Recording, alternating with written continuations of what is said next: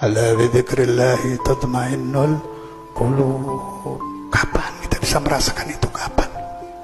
Hati kita tenang karena ingat kepada Allah. Hati kita tenang karena zikir kepada Allah.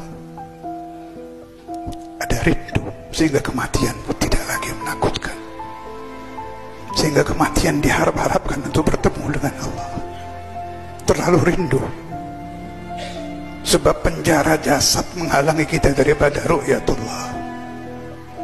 Kita selalu mendengar bahwa Nabi Muhammad SAW bukan hanya ingat kepada Allah, tapi tidak mampu lupa kepada Allah. Para aulia tidak mampu lupa kepada Allah. Malah mereka bertanya-tanya, "Loh, bagaimana orang bisa lupa kepada Allah?" Manilladzi yuharrikul akwan? Jawabnya Allah. Siapa yang memberikan rezeki kita setiap hari? Allah. Siapa yang memberi ketenangan batin? Allah. Siapa yang menjanjikan kita bahwa kita bila cinta kepada Nabi Muhammad akan diberi rezeki husnul khatimah, akan dipertemukan dengan Rasulullah sallallahu alaihi wasallam indal mamat. Siapa yang membuka batin-batin kita sehingga malam hari bermimpi Nabi Muhammad?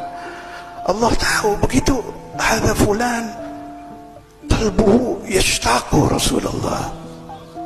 Ada satu umat Nabi Muhammad hatinya sedang rindu dibuka oleh Al-Fattah. Fafatahallahu qalbahu fara'a nabiyahu fi manabihi. Tidur loh ini tidur, mata tertutup tapi bisa yara Rasulullah. Manil Fattah Allah. Ajaib ini. Mata tertutup tapi bisa melihat Nabi Muhammad. Mata tertutup tapi bisa berkomunikasi dengan Rasulullah. Mata tertutup tapi bisa terobati rindunya melihat wajhun Nabi Muhammad. Al-Fattah wallah.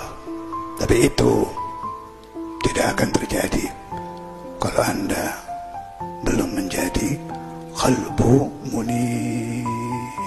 Allahumma salli ala Muhammad.